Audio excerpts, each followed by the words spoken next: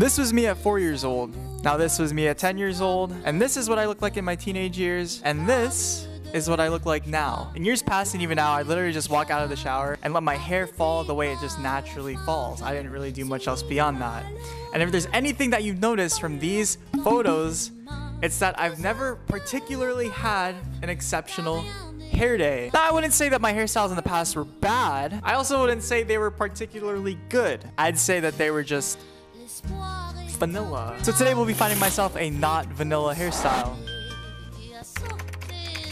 Alright, welcome to day one of me trying to figure out what hairstyle works for me best. I call this one the Mark Sean, which is actually named after the creator of the first video that comes up when you search how to style Asian hair for men on YouTube as any normal person would do when they have absolutely no idea what they're doing. I'm pretty sure actions speak louder than words, so we're just gonna hop right into this and we'll see how it goes. Alright, welcome to the inaugural edition of How to Style Hair by Josh.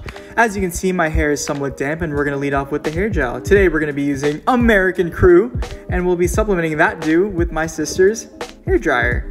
So after rubbing it all throughout my hair, I used a comb to brush the front backwards and followed the motion with my hair dryer. After that, I proceeded to, and I quote, mash the back of my hair forwards. You know, kind of fluff it up for that volumetric messy look. And then finally, we're gonna redo the front and mash it all up again until I deem it satisfactory. Basically, I'd add the process of doing my hair to my morning routine. Let me tell you, about 80% of the time, I absolutely had no idea what I was doing. However, I decided to run with it and I chose to wear each hairstyle for a full day as a way for me to evaluate whether or not the hairstyle actually fit me. Kind of similar to how in a grocery store you hold an item for 10 seconds to evaluate whether or not it's an impulse buy, if that makes sense. Now, you might be asking yourself the question, Joshua, why three options instead of four or five? Well, research suggests that the three option format is the most optimal for multiple choice questions, which is something that I'm gonna dive deeper into later in the video. And now comes the final part. By this point, I will have worn each hairstyle for a full day, and now I can finally reach out to my inner network of people on Instagram. By the way, if you're not following me, my handle is down below. I'll leave it right here. And I asked them which hairstyle fit me best. But before I could do that, I decided to redo all three hairstyles because after all, my knowledge on day one isn't really comparable to my knowledge on day three.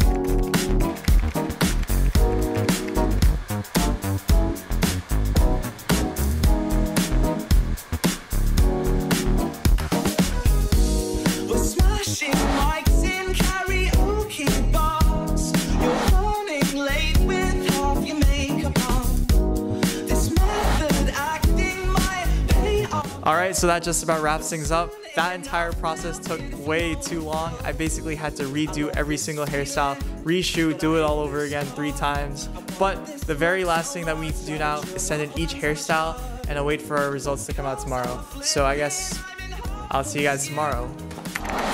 Alright, so today's the final day of this video idea. So after 12 hours of leaving my poll up, the results are finally in. And at a 60-30-10 split, we have Exhibit B to be the most highly voted. And that's not to say I will wear Exhibit B every single day of my life. In fact, I don't even think I can recreate Exhibit B every single day. But regardless, I found this whole experience to be very eye-opening. We went from a vanilla hairstyle, just normal and just laid back, to a not vanilla hairstyle. In fact, I would venture off to say that we're at a low-fat pistachio flavor now. But for any of you who have felt the same way as I have, I hope you're somewhat inspired.